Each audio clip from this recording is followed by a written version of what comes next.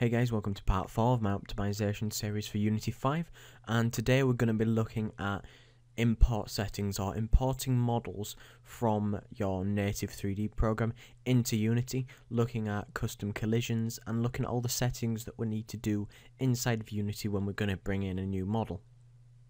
And it's just some key areas to focus on. So this is going to be my example today. So here's a sort of simple basketball and I will show you what the things that I normally do. And it's not really dependent for 3ds Max which I'm using here. You can use any 3D program and it all basically is sort of equal to the same thing. So what I usually do is say I've got my object I would select it I would file export and I would export the model. I'll choose where to export the model so I'm going to export it to um, this folder. And I will export as a .fbx and you could export any other native uh, 3D pro program. You could even export as a 3ds Max file, but it's best if you use it FBX or even .object. I'll save it out as basketball and press save, and it'll um, will bring up some options. And we don't really need to focus on any of these options. I don't want to embed media because I'll bring my texture in separately because we'll create the material separately. So when we've done this, I'll just press OK and we'll go inside of Unity. And what I want to do when I want to go inside Unity, I'll usually create a new folder. I'll create the folder called basketball. I will import a new asset by right clicking on the folder and saying import new asset. I will go to whether, wherever I exported my object. I will choose the basketball.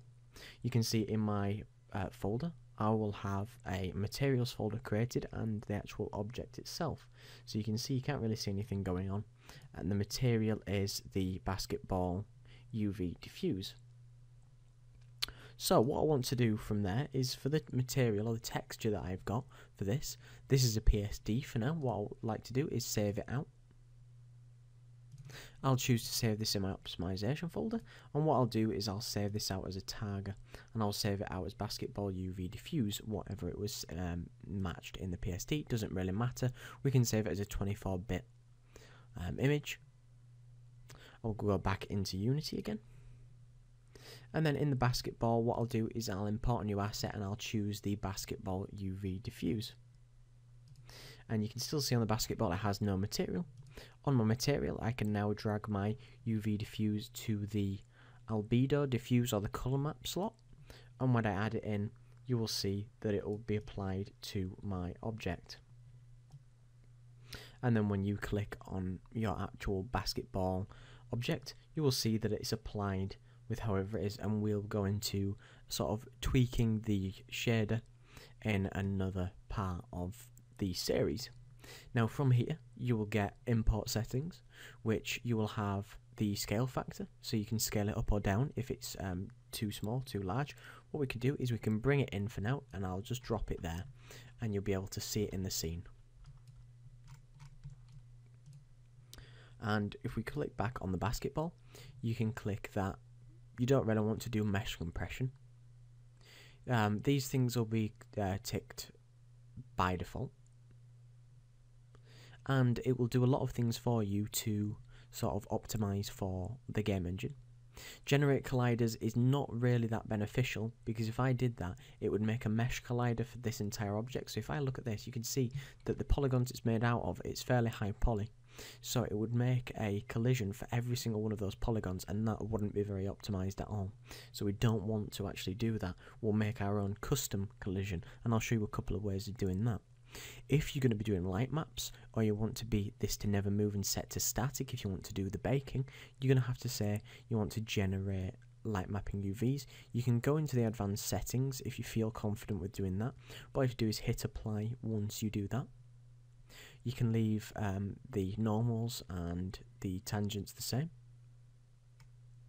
You can choose to import materials or not, so if I choose to untick that, it wouldn't have created this, or it won't have this material anymore. And what I'll do is on the rig, what we do before we can switch, we'll just press apply, because we've generated those light maps. We've got no animation type, and we've got no animation animations. It would import animations if that was already in there for us. Now, if I zoom in all the way to my uh, basketball here, and I click on my texture, you can see that it's a 1024 by 1024 map. Now the max size currently is 2048 and we want to optimize that texture when we import every single asset. So if I take it down to 1024, you won't really have seen a resolution drop. We could even take that down to 512 and maybe you didn't even see a drop again. But again, it's like I mentioned in my previous video, it'll be minimizing the size, it'll be compressing the size.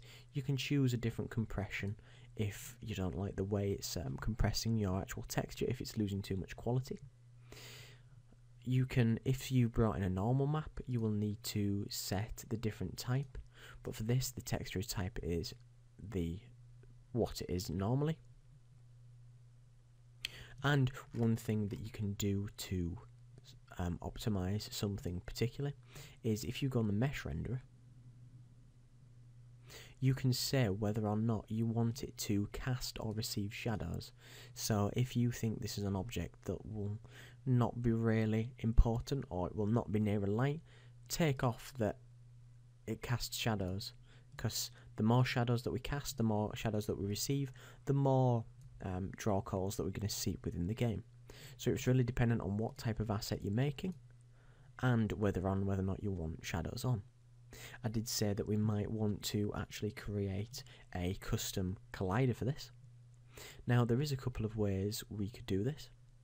We could, as I said, when we went on the import settings for the basketball, we could say generate colliders, but we don't really want to do that. We could click on the basketball now, go component, physics, and we could use spherical collider and you'll see that it will put a spherical collider all around our object. But you see that you can see that's how it's made up with those green bounding lines and you can see that that's quite an optimized collision because there's not many um, things taking it up. If we remove that, we could even add something which is even more optimized than a sphere collider. We could have a box collider on there if it's just going to sit there and you're just going to run into it. But it's really dependent on the type of object and the type of thing you're doing. So say we wanted this ball to actually roll around, we'd need the spherical collider physics and sphere collider so it would roll because this is contoured to the actual object itself and we can edit that however you need it to be. And remember, if your object needs to be static, you can tick that as static at the top. One thing that I normally like to do is you can create a prefab out of this. So say I've already put a sphere collider on, I've checked whether I need to do the um, receive or um, cast shadows, I can create a new prefab and prefab that up so I could use it as many times as I need rather than having to bring out this every time and the actual imported model won't have the collider so it won't be the finished article that we're after. So what you can do easily there is right click, create, prefab, um, rename your prefab to basketball underscore prefab, something like that. And what you could do is you can drag your game object of prefab, uh, your game object into the prefab slot there, and you will see that it will be now made up of that. And anytime we actually edit, say this original object, you can see that it's a prefab up there. So say we, uh, for instance, remove the um, sphere collider, press apply, it will now update our prefab according to however we created it originally. So, for instance, if we now put physics and box collider on it, hit apply, our actual prefab will be changed so we can pull that out as many times as we need it to with custom settings.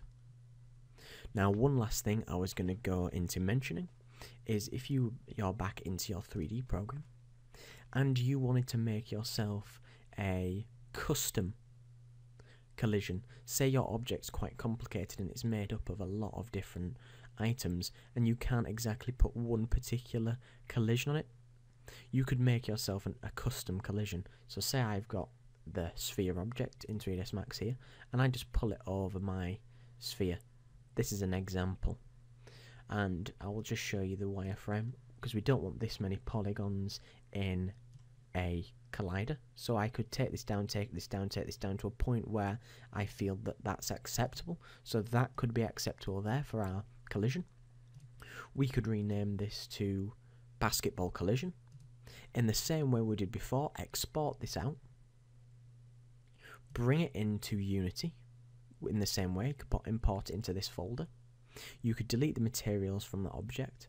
You could remove the mesh renderer from that and just use it as a custom collision. And what you would need to do then is put physics, component physics, and you would need to put a mesh collider onto this